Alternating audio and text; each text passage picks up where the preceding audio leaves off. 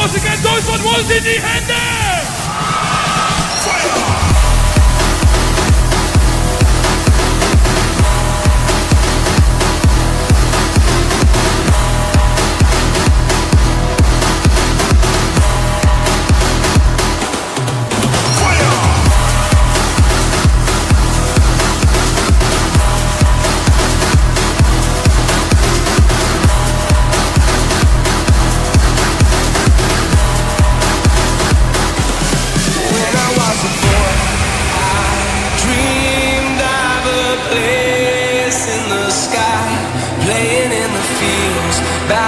my shields, bows made out of twine.